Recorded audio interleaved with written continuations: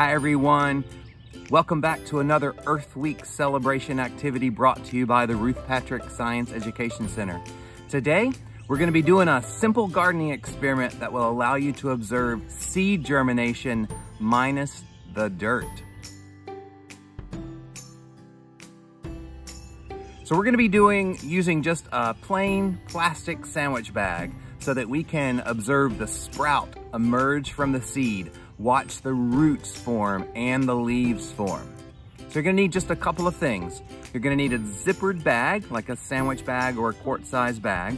You're gonna need some water, you're gonna need some paper towels, and you're gonna need some dried beans or some seeds that you've bought from the store or that you have at your house. All right, so step one, all right, so what you're gonna do is you're gonna take a paper towel and fold it just a few times so that it will fit into your zippered storage bag. Step two, soak the paper towel in water.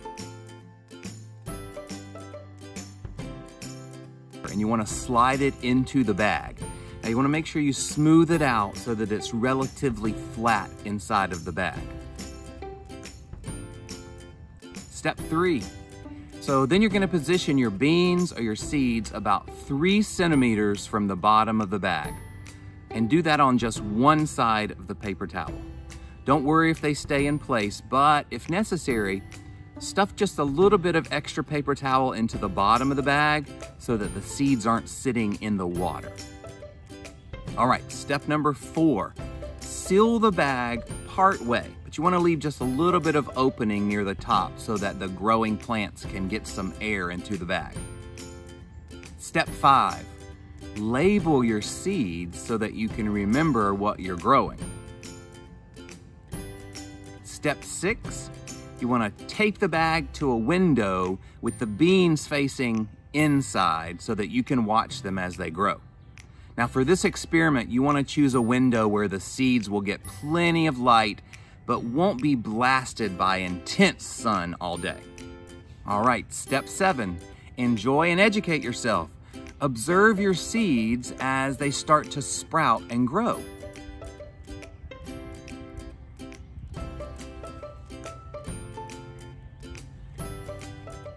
Did you know seeds and dried beans contain little sleeping baby plants? They call it dormant plants. These tiny plants are just waiting for the signals to make them wake up and emerge from the seed. Germination is the name for this process that the plant goes through in order to sprout from the seed and form leaves. Plants need just special signals to germinate, including light, air, water, and temperature even plays a role. Now, when a plant first sprouts, it gets its nutrients from the seed.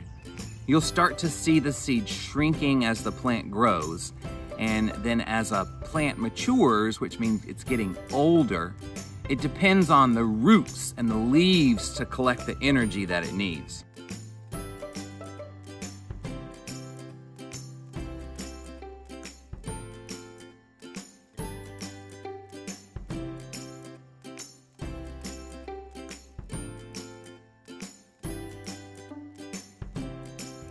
Now, once it reaches a certain size and uses up all the nutrients in the seed, your window sprout is gonna have to be transplanted to soil to continue to survive.